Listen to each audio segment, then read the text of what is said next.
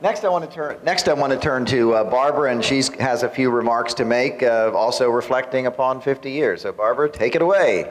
Uh, I normally don't like to talk from prepared talk, but there's things I wanted to say to you, and there's very limited time, so I thought I'd better write some of it out. I try to grasp it. It's been 50 years since the publication of Atlas Shrugged, and it just isn't real. It's as if that period is, is has been made into a movie and I'm watching it on a camera.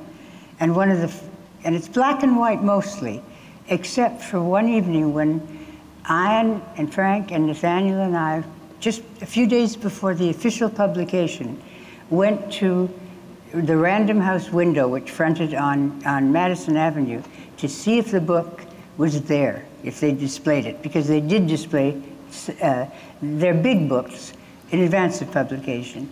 And there it was. And the four of us stood looking at it. It was the first time we had seen the book outside of our own private world, which was Ayn's apartment.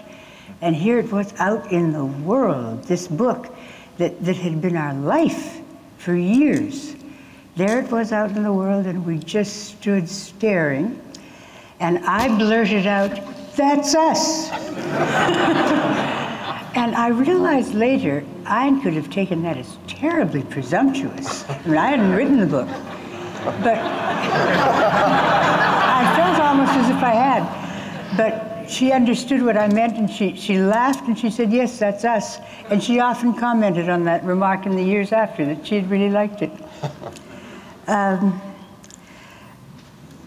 that evening was a very special one, and I see that one on the camera, and there's another one I see the evening that Ayn came almost reeling out of her study, carrying this enormous manuscript that seemed to reach to the ceiling, plunked it down on a table, opened the last page, which said the end, and said, one word leads to another. it was finished. It was finally done. And that was the most wonderful evening. And as Nathaniel said, um, we'd been part of that book from, the, from almost the beginning. I think it was about, what, a third through when we began reading it in manuscript? When we began reading it? Yeah, about uh, a third. Uh, we began reading it when we were still in UCLA, yes. and I think it was uh, about chapter 18 when the book was in two parts, 20 and 10. That would now be eight in, in the new yeah. version. So we were there almost from the beginning. And we spent, I mean, we had spent days and hours and weeks and months discussing the ideas, discussing the characters. They had become almost reality to us. I mean, uh, Hank Rearden to me was as real as the people I sat with in class. Probably more real. I, just, I understood him infinitely better than I did the people in class. And we had suffered with Ayn through the writing of it which was very, very difficult for her. She'd had a lot of distractions, which made her terribly tense business distractions, personal distractions, all kinds. And it took her years longer to write it than she thought. Galt's speech was, it took her two years and was complete hell for her. The hardest thing she ever wrote in her life, because what she was trying to do was take abstract philosophy and put it in the terms of a novel. And that is hard. And she did the best she was able, and when it, when it was over, during that period, during those years of real struggle, she had become very irritable, very tense, very condemning. Life had been hard for her. But finally, when the speech was finished, and she was really happy with it, then she was writing the completion of the novel, which was mostly action, and that she loved writing and really enjoyed. And we just saw her blossom, and it was wonderful to see. And now we're all looking forward to publication. And as Nathaniel said, we were very sane and very sensible about the fact that we could not expect immediate change in the culture. That's not how things happen. We knew that. And we assured each other very solemnly, and as he said, none of us believed it for a minute. We thought this was going to be a thunderclap and would sort of change the world overnight, or at least begin it. And during that period before publication, we saw something wonderful happening to Ayn. For the first time since we'd known her, she was living in the moment. She was enjoying day by day. Always before it had been, life starts when I complete the book. Life starts when this is done, when this is done. Now it was the moment that she was enjoying. And she would spend hours at her study reading the manuscript, not to edit it, but what she said she was doing was just gloating, just enjoying it. And it was such a joy to see that after the years of struggle she had gone through.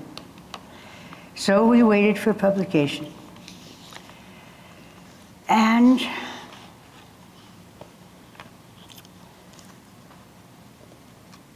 it was awful. It could not have been worse. The reviews, we knew there'd be negative reviews. We were prepared for that.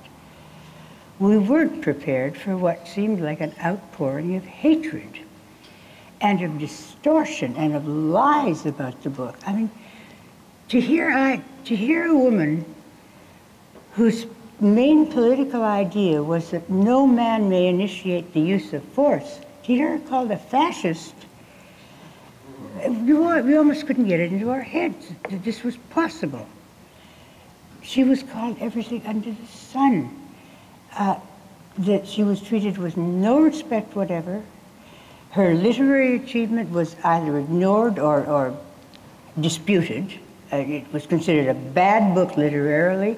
Now, there were some good reviews, but in the major publications, well, there was National Review, and Whittaker Chambers saying that on every page of this book, I hear the order to the gas chamber go. How does one integrate that? How did Ayn integrate that? The sales in the beginning were very slow. It looked like the book wasn't going to make it, it, wasn't going to be a success. Bennett Cerf later said that he was struggling not to tell Ayn that he thought the book was going to be a failure. Ayn was reeling, as I say, from all of this. She, it was a, a soul shriveling response to the writing of Atlas Shrugged. She had expected negatives. She had known there would be negatives. That book motivated so many people to reach for the best within them, to try and be the best they could be. It didn't motivate them to defend the person who had taught them this. It told businessmen not only that theirs was the